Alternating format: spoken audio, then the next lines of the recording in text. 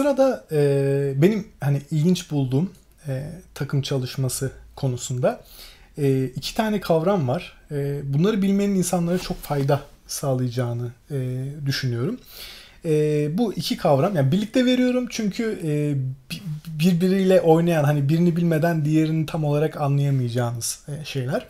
Birisi action biased yani e, bir karakter tarzı. E, işi hemen çözelim. Şunu yapalım, bunu yapalım tarzı insanlar. Düşünmez. Hemen harekete geçer bu adam. Action biased. Yani hareket ön yargılı veya harekete eğilimli insan olarak tanımlayacağımız insanlar. Bir diğeri de analyzes paralyzes e, tarzı bir de kafiyesi de var böyle. Yani böyle analiz yaparken o kadar ince, o kadar uzun analiz ediyor ki iş yapamıyor adam.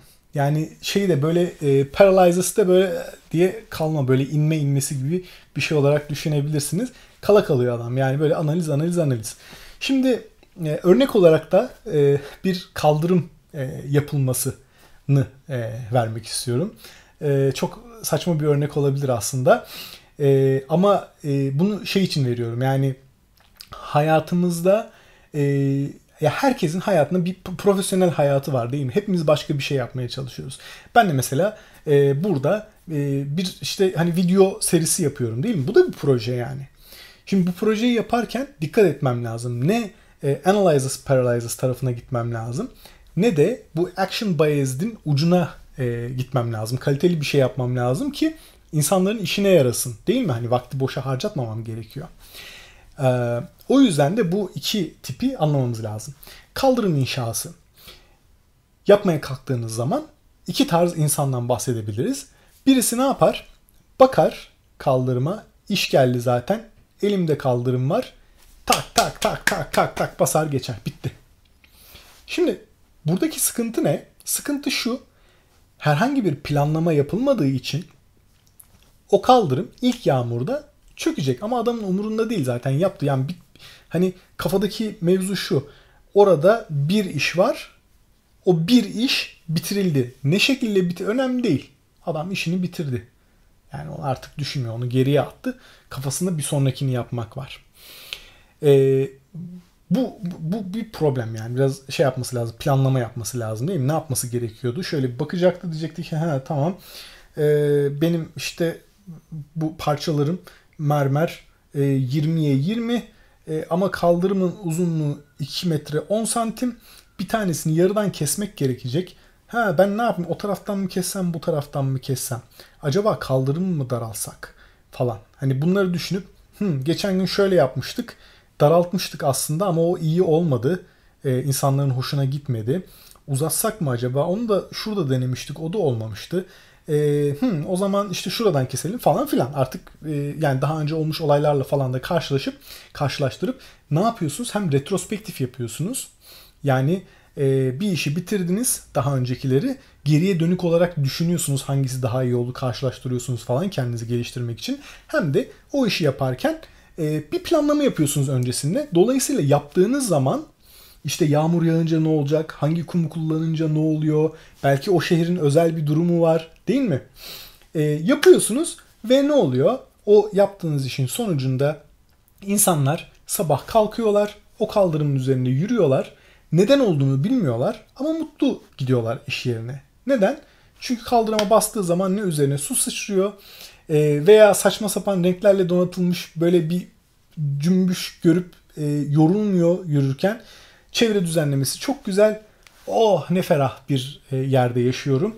Tak tak tak yürü işine git. Tabi iş e, yerinde ne yaşadıysa adam yaşayacaksa sonrasında oraya yapabileceğimiz bir şey yok değil mi? Ama biz elimizden geleni yaptık. Kaldırımı güzel bir şekilde yaptık. İnsanlar e, güzel bir yaşam sürebilsinler diye. Şimdi bir de diğer tarafta ne var? Diğer tarafta da uh, analyzes paralyzes var. Şimdi analyzes paralyzes insanın da şöyledir. Bakar kaldırımı hmm der ya benim elimde mermer var ama ya onu başka bir tarz daha vardı. Onunla mı değiştirsek acaba? Gider işte müdürle falan konuşur. Ondan sonra bakar aa bir dakika şu fabrikadan çıkan tarz daha iyiymiş bu fabrikadan çıkana göre. O fabrikada şu zaman kurulmuş işte onun üstünde de şöyle olmuş mermerin tarihi de böyleymiş. Bilmem ne böyle analiz analiz analiz analiz orada işte bir santimetre karelik bir şey kaldı alan kaldı acaba onu nasıl halletsek yani devamlı bir e, şey e, yani ya çok detay ya da devamlı bir e, mükemmel model arayışı. Yani analysis paralysis yaşayan insanlar da iki tarz öyle tek tip değil yani.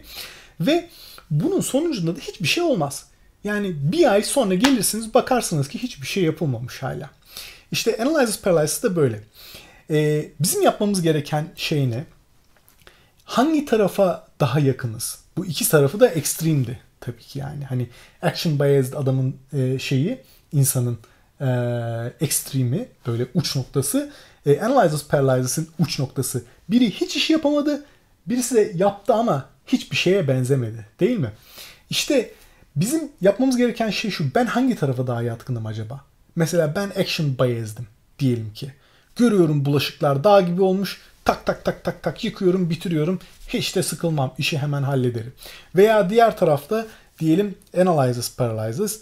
Ee, orada da iş ortaya çıktığı zaman hmm, bunu en iyi şekilde nasıl yaparım diye böyle günlerce düşünürken yapmıyorsunuz diyelim ki. Tamam yoruluyorsunuz yani. Ee, onu fark edip diğer tarafta kendimi acaba nasıl geliştirebilirim? Bunu düşünmeniz gerekiyor. Faydalarından birisi bu, bu kavramları bilmenin.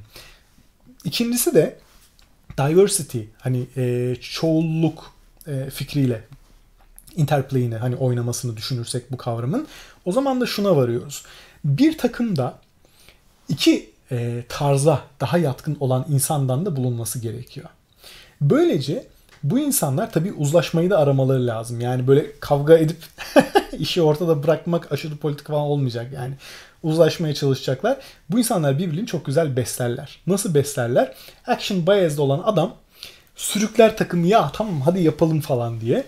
Ötekisi de der ki bir dakika bir dakika bir dakika. Hani burada şöyle bir şey var. Ona dikkat etmemiz lazım. Böyle bir problem var. Action bias de der ki ha ya tamam onu da şu şekilde çözeriz. Bir dakika bir dakika bir dakika bir dakika. Ama orada da şöyle bir problem çıkma ihtimali var. Action bias de der ki ha tamam ya onu da şu şekilde çözeriz. Anlıyor musunuz? E, bu aradaki şeyden e, mücadele e, sonu tatlı mücadele mantıklı tabii yapıcı e, mücadele sonucunda ortaya çok güzel bir kaldırım çıkar.